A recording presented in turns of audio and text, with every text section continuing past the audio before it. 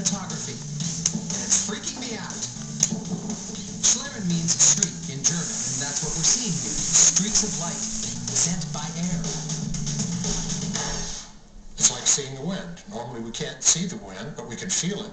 A Schlieren camera isn't literally photographing air, it's capturing light distorted by air. But the result is like watching air move.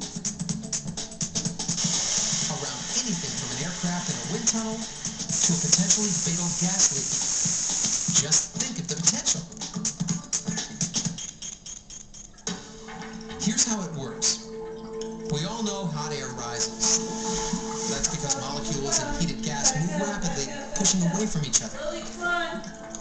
This makes the gas less dense and therefore more buoyant than the air around it.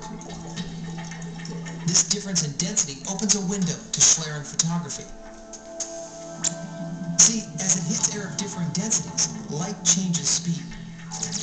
As it does so, it bends, creating a visible distortion. When we use Schlieren photography, we're seeing changes in density. We're seeing disturbances in the air that are bending light rays. We observe this phenomenon every time we see a mirage. Hot air is distorting light differently from cold air. Same thing when we look at the stars. It's what gives them that twinkle. But how do you capture this phenomenon on video? Here's the trick. Look at this candle. You see a flame. What you don't see is that it's surrounded by moving air. But you will soon. First we have to capture all the light passing around the candle by using near-perfect mirrors. They focus this light to a point. Then we need to isolate the distorted light from the straight light.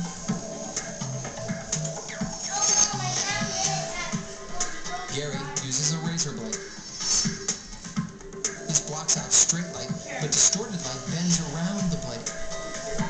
Suddenly, a whole new world springs to life. We can see the invisible.